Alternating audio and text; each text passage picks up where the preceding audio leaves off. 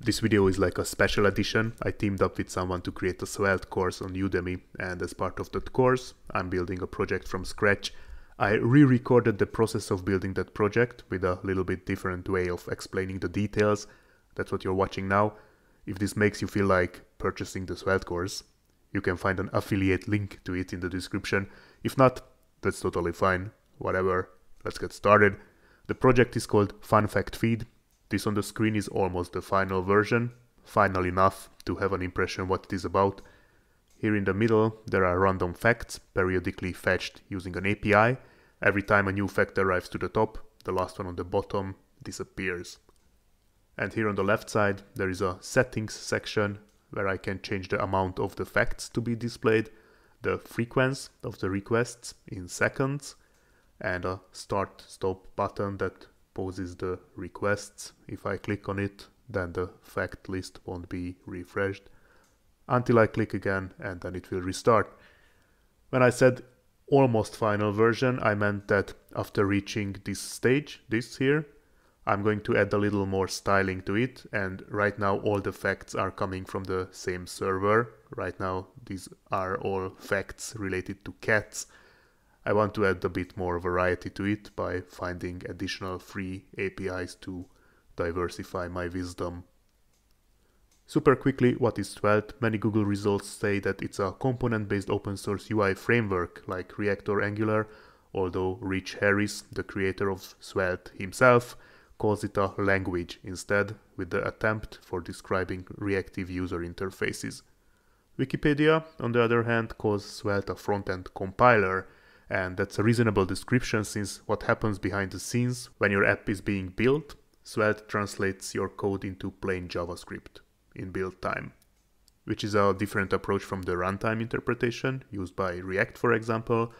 What React does is it keeps the representation of the document object model, the DOM, in the memory as an object and keeps updating the real DOM based on that. And that happens in runtime if you don't understand some of these expressions, no need to stress. This process is running in the background. This is just some additional info. And the point is that this is the kind of novelty for Svelte that helps the apps to load faster and have a better overall performance. Okay, let's get started and build the default Hello World app in Svelte. Step zero is to make sure that you have Node installed. If you don't, head over to nodejs.org and download the current long-term support version, install it. Then if you type node-v in your terminal and the final result is a version number, then you're good to go. Then it's time to check on the Svelte homepage, svelte.dev, what commands to copy and paste into your terminal. First, clone the Svelte Git repository into a local folder. I call it FFF, which is a highly intelligent abbreviation for fun fact feed. Once that's done, I enter that folder, cdfff, and then npm install will install the necessary npm packages that might takes a while, but just be patient. And if the packages are successfully installed, npm run dev will first compile the file, as you may remember, into plain JavaScript, and finally it runs on port 5000. If I check out localhost 5000 in the browser, this is how the default Svelte app looks like at the moment. It keeps changing, so don't be shocked if you see something different. If I check the file structure in the VS Code, the starting point is the app.svelte file in the source folder. The .svelte extension in the file name suggests that this app is a component, a reusable self-contained block of code that encapsulates HTML for the document structure, CSS for styling, and JavaScript for the component states and functions that belong together. And the project I'm about to build will be made of components like this. Now, before going any further, I want to plan the structure of the project because yeah, that's one thing that it will be built of components. The real question is what each of these components are supposed to do and how they need to be connected with each other. And this is something that can be understood even without knowing any Svelte. This is just explaining what the building blocks of the project should do. in order to end up with the app I showed in the beginning. There are several different ways for that, not just the one I chose, but this one worked for me, so I kept it. So this is more or less how the UI will look like. This is the main component and it will have two child components. One will be the settings component on the left side where the user can change the amount of the facts, the fetch rate and can stop and restart the feed. And then here on the right side will be the feed itself. That will be another child component of the app, meaning that it will be used inside of the app component and it will contain the list of the fact components so the fact components will be the children of the feed component. Each of the facts, the sentences, will belong to one instance of the fact component, and how many of them will be inside of the feed component that depends on the value set in the settings component.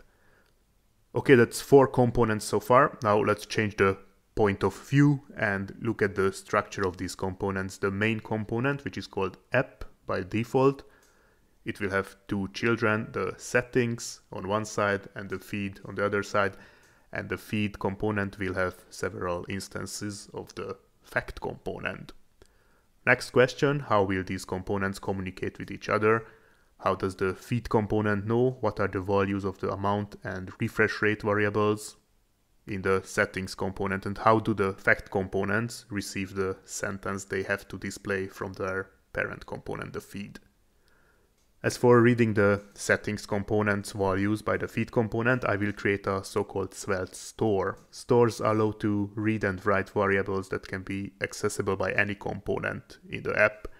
So the settings component will write in the store and the feed component will read from it.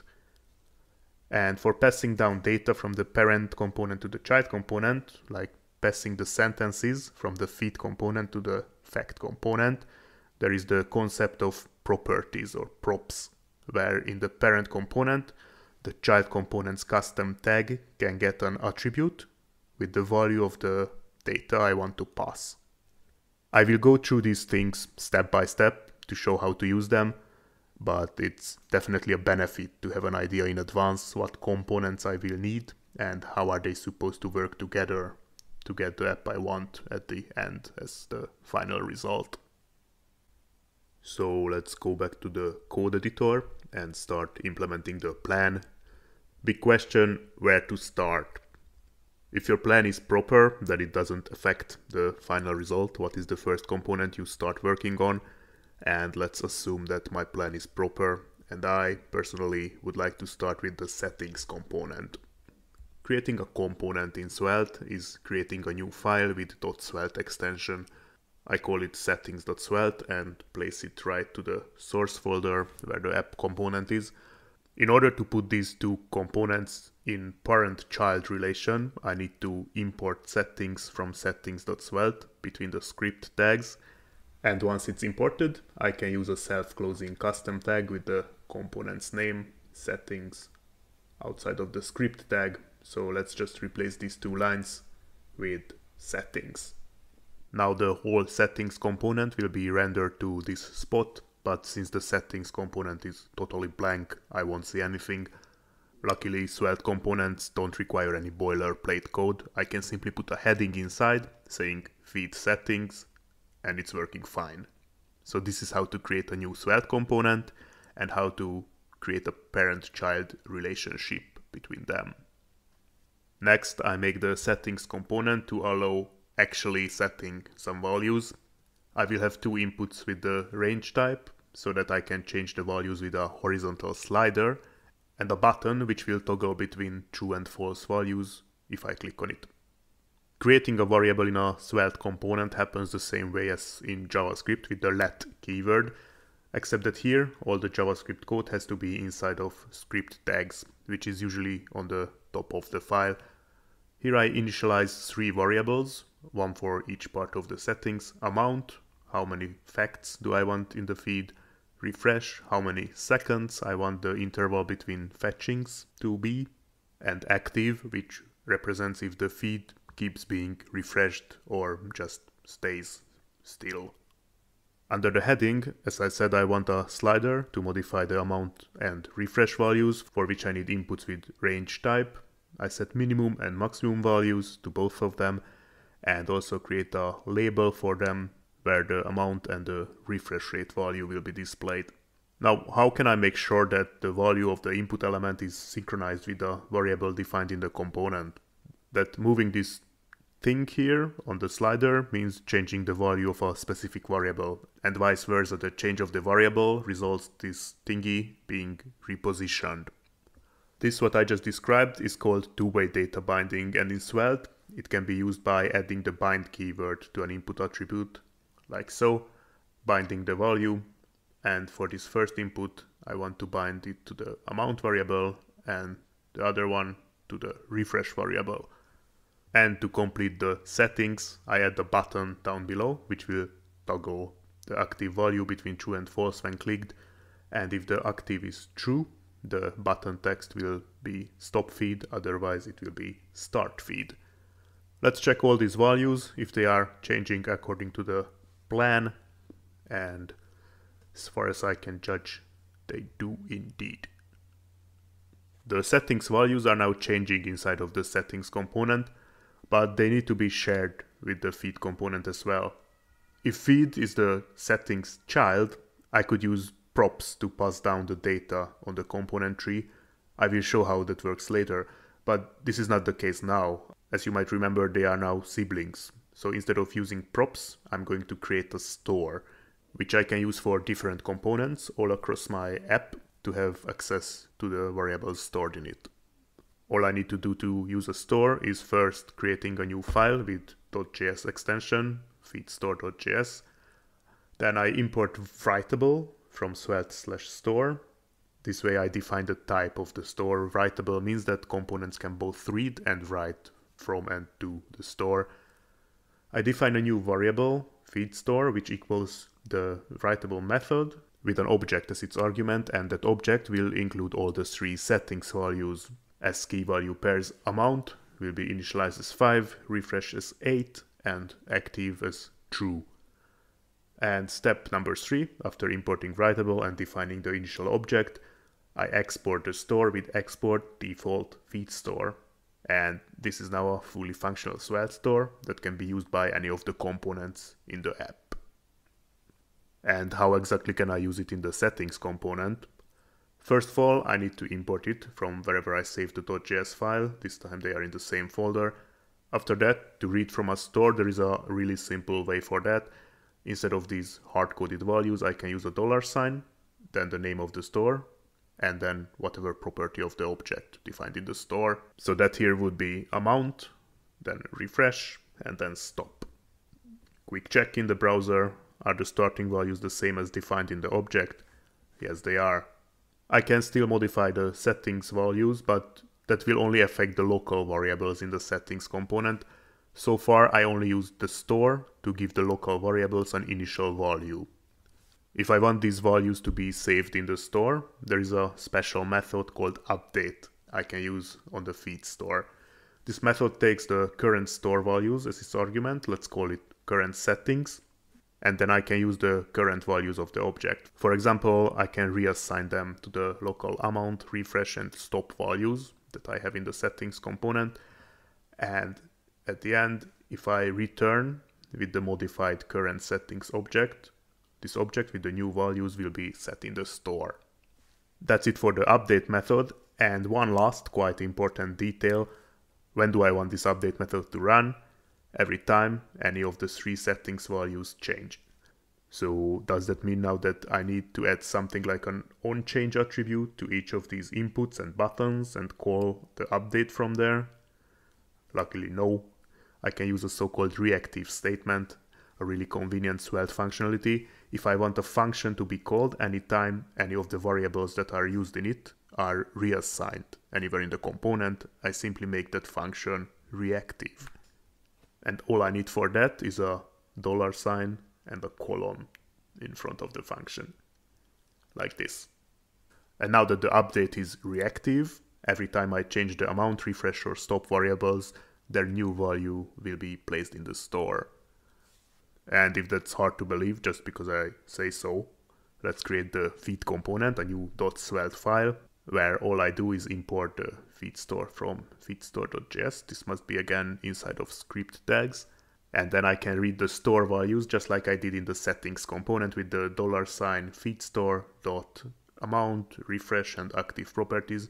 Each of them will be displayed in an HTML heading. Okay, then I hop over to the app component where this feed component will be imported, making it the app's child component.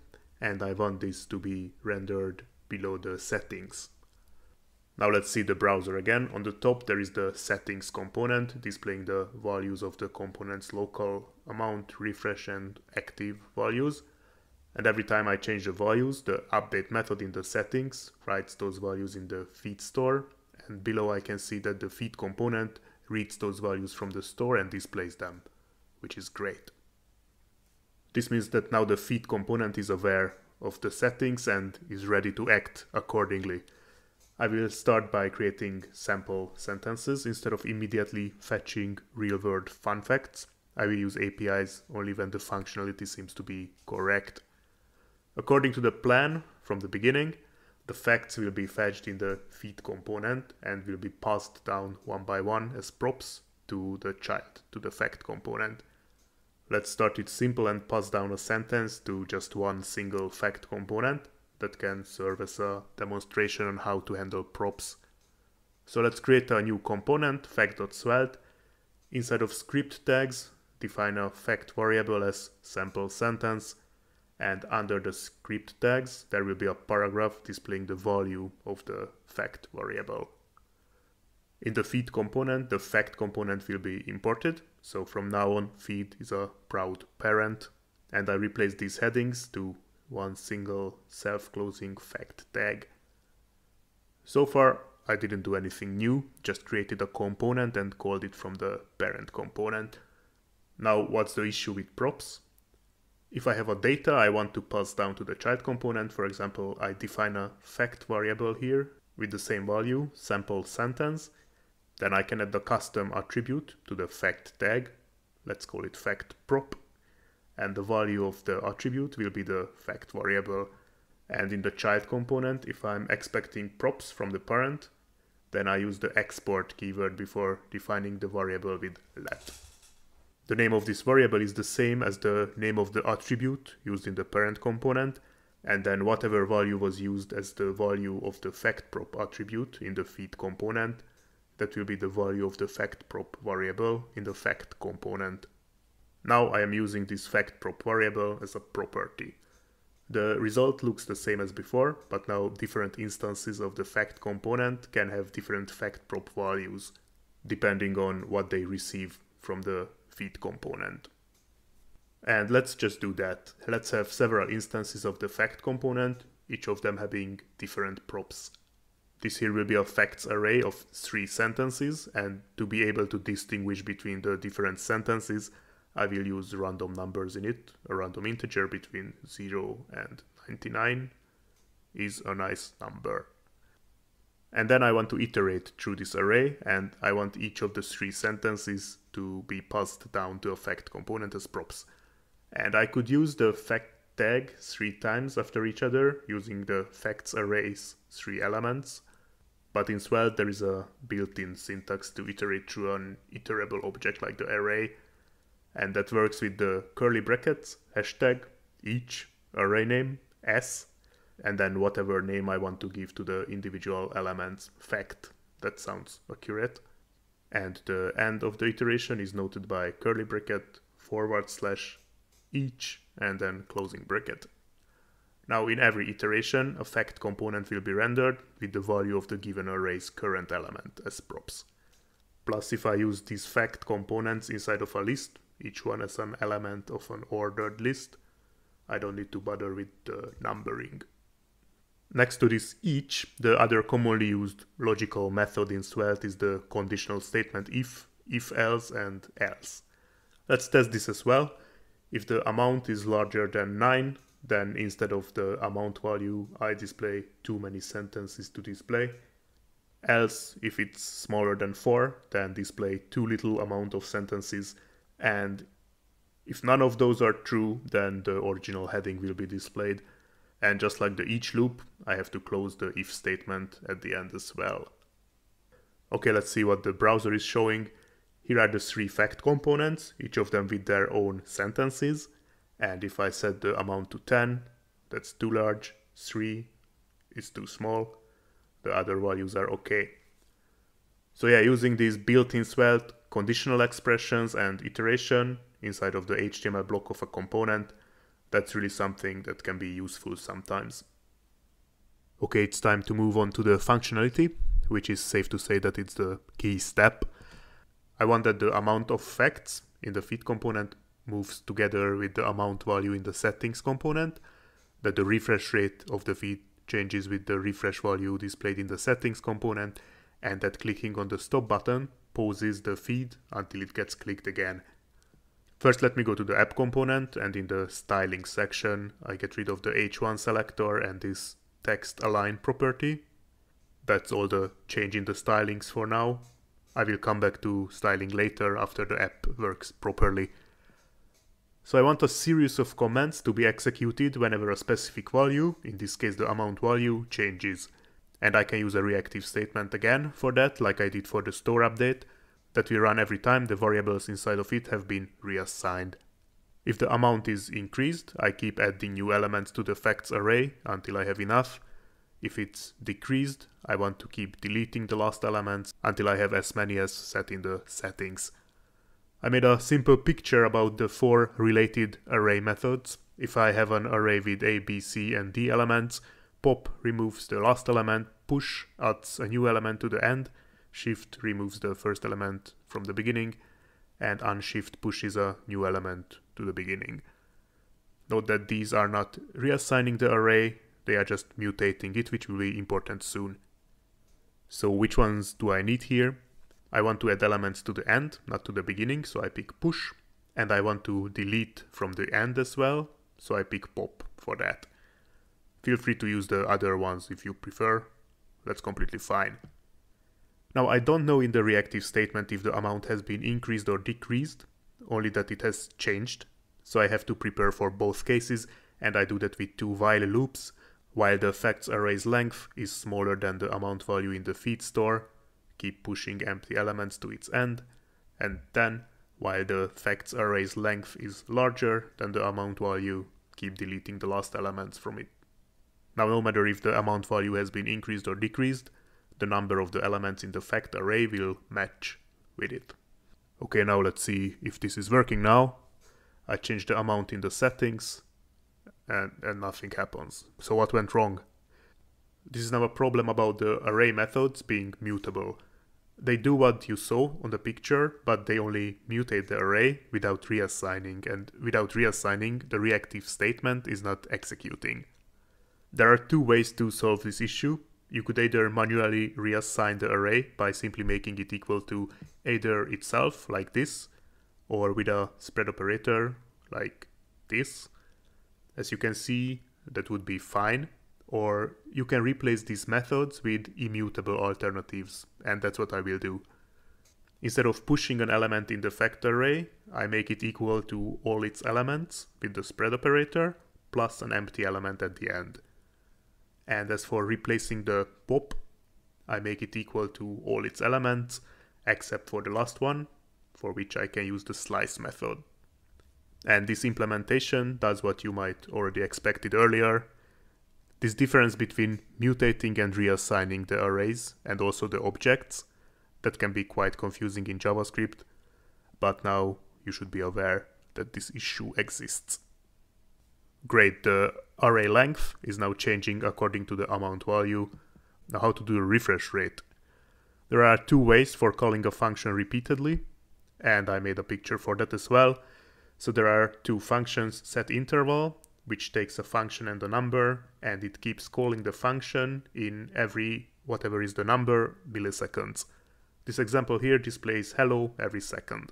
Set timeout on the other hand waits this many milliseconds and then executes the function once. However, this here is a nested timeout, which keeps calling the function it's inside of. So this here ends up displaying hello every second as well, whenever you call the function once. I could use both of these versions, but there is a small difference between them that is worth to know about. The implementation with the set interval will call the function exactly every 100 or 1000 millisecond, whatever is set, even if the execution takes a while, which is a real possibility for fetching from an API. And what the nested set timeout does is it starts counting the milliseconds after the lines above are all executed.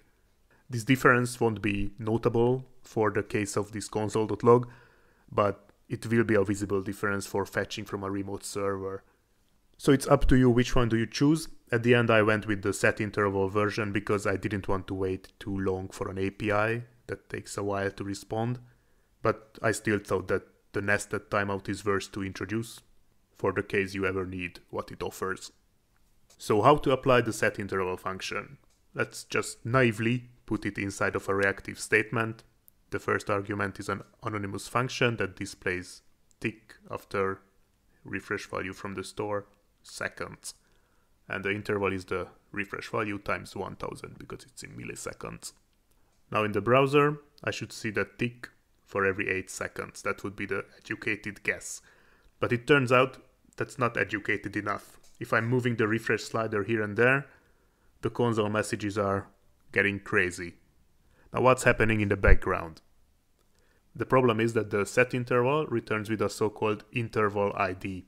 And that ID needs to be used as the argument of the function called clear interval in order to stop the current set interval from calling the function. What I'm doing now is that I call the set interval over and over again without stopping the previous one. So now many set intervals are running simultaneously but I want to run only one instance at a time. So I create a current ID variable, and whenever this reactive statement is running, it will check first if this current ID has a value. If it does, then clears the corresponding interval. If it doesn't, which should only happen for the very first time, then it will just display no interval has been set yet. And then where does this current ID variable get its value? It will always be equal to the last set interval function's return value. So this is how to start and stop the set interval from running. Checking the browser again, playing around like before with the refresh value. But now before calling a new set interval function, the previous interval gets cleared thanks to their interval IDs and everything seems to be working fine. Let's get a bit more practical and instead of displaying messages on the console, I will create sample sentences and put them in the facts array. I create a get random fact function, which for the first round simply returns with a sentence saying that random value is a nice number. I will use this function inside of another function called update feed. This will always delete the last element from the facts array and push a new sentence at its beginning. As you might remember, I could use the pop and the unshift array methods for that, but since those are mutable, I replace them with their immutable alternative. So getting rid of the last element first, and then extend the array with a new fact in the beginning, like that. And where do I call this update feed function? Inside of the set interval. That's what will replace the console.log there. And one more thing, I'm also going to create an initialize feed function that fills the empty facts array. By the way, I have to initialize this facts array as an empty array. And then this initialize feed will put as many random facts in the fact array as many is required based on the amount value. Here I'm using the unshift method inside of a for loop. And do all these things working great so far. Let's try to decrease the refresh rate and increase the amount value now this feed is being filled one by one when the amount value suddenly jumps up. If you prefer to get all the missing sentences immediately, that's easily fixable by using a for loop in the update feed function as well. But I thought this solution fits better. Very good. Two of the three settings options is working fine. There is only one left, the easiest one. The button which stops and restarts the feed a very quick addition before that. When the facts array is still empty in the very beginning, I don't want to fill it with empty strings. So in the reactive statement, which is sensitive to the amount value, I add another condition This should only happen if the facts is not empty, if its length is not zero. As for the start stop button, there are two things I want to change when the active value turns to false. I want the range inputs to be disabled and the feed not to be updated. The disabled attribute is a boolean value for the input elements, so I can just go to the settings component and say that for these two inputs, I want the disabled attribute to be true if active is false. And false if active is true so always the opposite of the active value in the store. That's all I need here. And pausing the feed is also not too complicated I simply call the set interval with a condition if the active value is true and if the active value is not true then I don't want the set interval to do anything so I use the clear interval function with the current ID and set the current ID to null. Now all the three settings have the effect on the feed they are supposed to have. So everything works now with the sample data.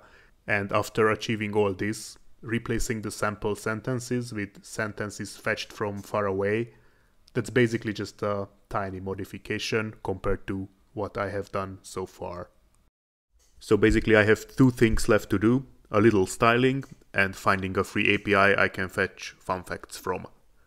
I would like to start with the little styling part, so that those facts will arrive to a nicely prepared, beautiful UI, to a heartwarming, welcoming environment. But this is just a personal preference. If you want to start with the API instead, you are free to do so. What I do first is that in the app component, I wrap the content of the main section into a div with ID container, and each of these two tags will be wrapped in a div as well, one with ID settings, one with ID feed. Now in the style block, I can grab them and add some styling to them. I start with the main itself. All I want is centering the text inside, horizontally centering the block itself, and I add padding of 1 EM em in CSS is the distance which equals to the text size. The container will have a simple black border and 10 pixels of padding. I picked the so-called ghost white for background color, it's barely visible but better than nothing. I set a minimum height so that it won't get too short when the amount of the facts is too low.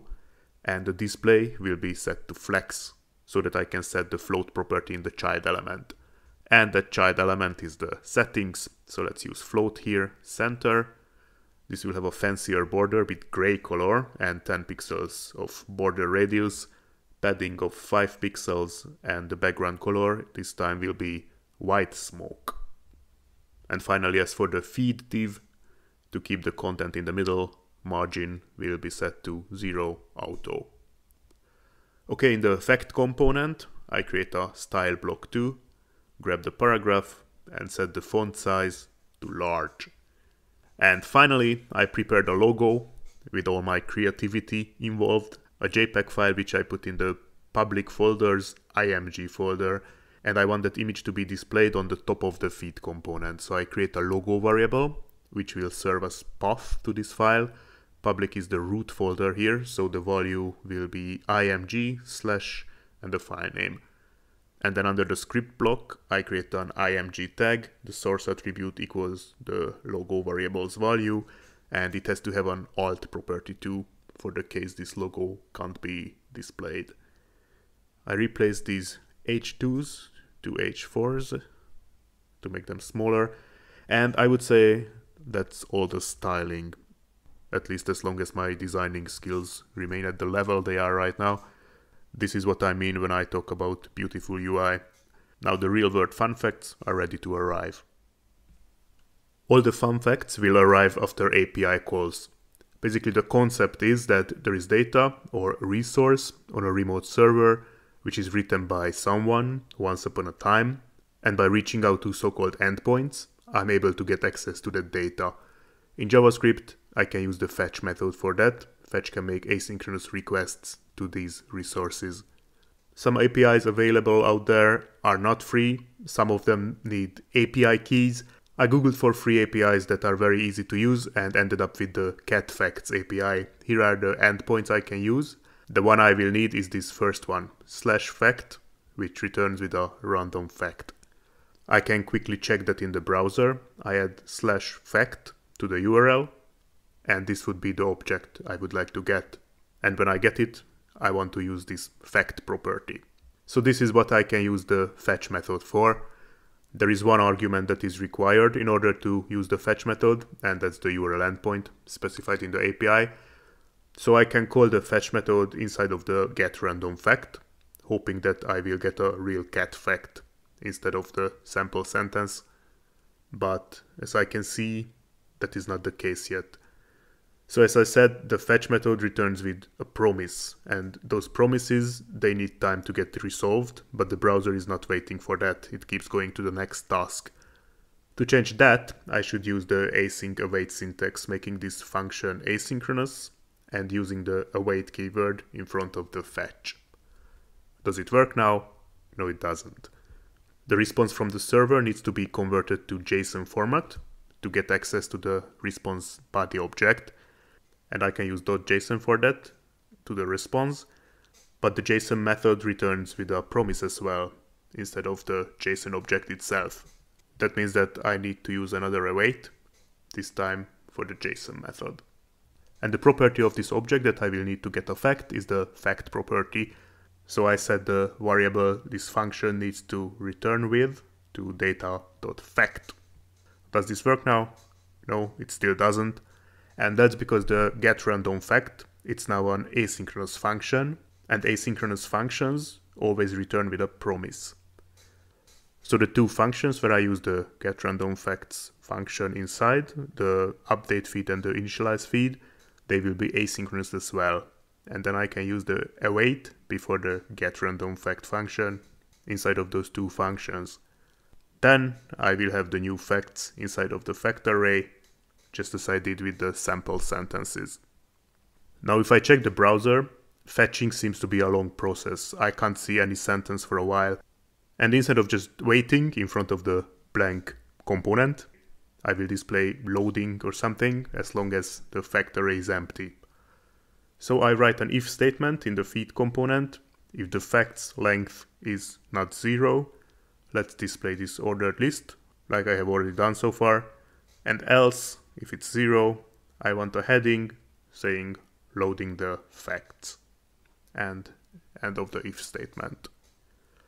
That's the state of the app that you saw in the very beginning of this video. After reaching this point, nothing brand new will come to this tutorial, but I still want to extend this a little bit because what if there are people in the world who prefer to get facts about something else as well, not just cats? Okay, I made a jump cut here. I didn't want to record how I am searching for different free APIs. Now I am storing the different endpoints in an array here in the feed component and always pick one randomly inside of the get random fact function. The logic behind this is very simple. If you want to use it or check it out, the source code for this app is on GitHub. The link is in the description. Thank you for watching this video. I can't promise that I will make a second episode, but it's also not impossible. We'll see. Now let's sit back, relax, and enjoy some of the fun facts of the world. Thank you, and goodbye.